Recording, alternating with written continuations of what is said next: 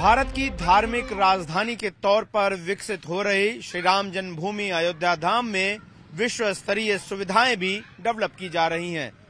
इसी के चलते अयोध्या में ब्रह्मकुंड के पास एक टेंट सिटी बनाई गई है। ब्रह्मकुंड का इलाका, जो कि सरयू नदी के बिल्कुल समीप है, और एक बड़ी टेंट सिटी का निर्माण जो है किया जा रहा है। और आपको हम आगे तस्वीरों में ले चलकर दिखाते हैं कि आखिर ये जो टेंट सिटी है, वो कैसे दिखती है। अगर आप तस्वीरों में यहाँ एंट्री पर आएँगे, कोई भी लोग तो उनको आते ही यहाँ पर चरण पादुकाएँ जो हैं, वो लकड़ी की बनी हुई दिखेंगी, जिन पे आपको तमाम धार्मिक जो चिन्ह हैं, चाहे ओम हो, स्वस्तिक हो, कमल हो, शंख, सूर्य, चक्र धनुष, अगर आप देखें तो सब कुछ आपको तस्वीरों में नज़र आएगा। और इसी तरह से ये पूरी बड़ी हिस्से में टेंट सिटी डेवलप की गई है।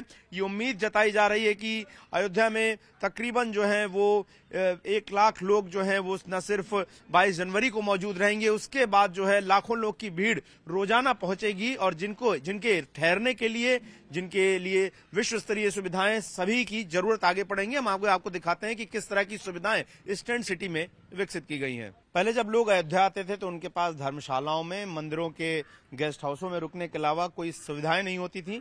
लेकिन अगर आप जब देखेंगे तो यहाँ पर एक डाइनिंग रूम इस टेंट सिटी के अंदर बनाया गया है और बहुत ही एक अच्छे, आप किसी अच्छे बुटीक होटल में जाएँ, किसी होटल में जाएँ तो जिस तरह का डाइनिंग एरिया होता है, वैसा ही डाइनिंग एरिया यहाँ पर आप देखें डेवलप किया गया है। पूरे बुफे का जो इंतज़ाम है वो आपको तस्वीरों में नज़र आ रहा होगा।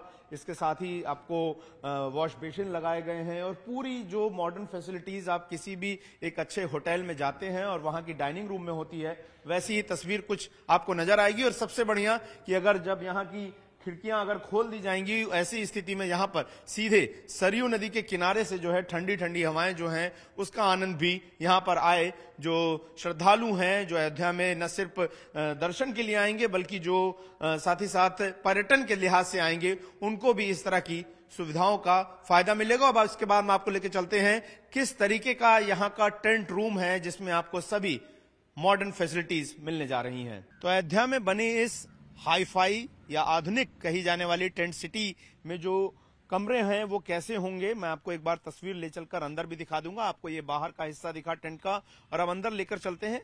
प्रॉपर जो है, वो एक मज़बूत सॉलिड प्लेटफॉर्म बेस पर जो है, इसको बनाया गया है, लेकिन जो इसका स्ट्रक्चर है, वो टेंट सिटी का दिया है।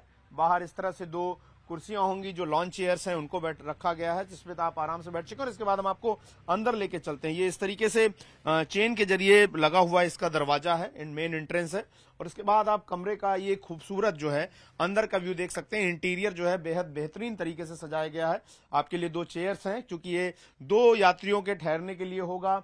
कुर्सियाँ हैं बेड प्रॉपर प्रॉपर जो है, इसमें सारी चीज़ें आप देखें टेलीविज़न लगाया गया स्मार्ट टीवी इसके साथ अगर आप देखें स्टडी टेबल वार्ड्रोब एसी और इन सारी चीज़ों की व्यवस्था। ऐसी कोई मॉडर्न फैसिलिटी जो है, वो इसके अंदर ना हो, ऐसा नहीं कहा जा सकता, और बड़ा ही खूबसूरत तरीके से इसका जो बाथिंग एरिया है, वो भी डेवलप किया है, और काफ़ी बड़ा एरिया अगर आप देखें, यहाँ पर दिया गया है। अमूमन जो आप होटल में जाते हैं, उनमें जो वॉशरूम होते हैं, वो इतने बड़े एरिया में नहीं होते। अगर आप देखें, यहाँ पर काफ़ी बड़े एरिया में जो है ये पूरा वॉशरूम डेवलप किया गया। तो ये तस्वीरें ये बताती हैं कि अब अयोध्या की तस्वीर सिर्फ़ इस बात से नहीं बदल रही है कि यहाँ पर चौड़ी सड़कें और बड़ा इंफ्रास्ट्रक्चर होगा, बल्कि तस्वीर सबसे सुंदर ये होगी कि इतने आधुनिक और खूबसूरत कमरे जो हैं, वो अयोध्या में सरयू नदी के किनारे एक ट्रेंड सिटी में होंगे, जिसका आनंद आपने देश के कई हिस्सों में लिया होगा, लेकिन अयोध्या में ये पहली बार होने जा रहा है।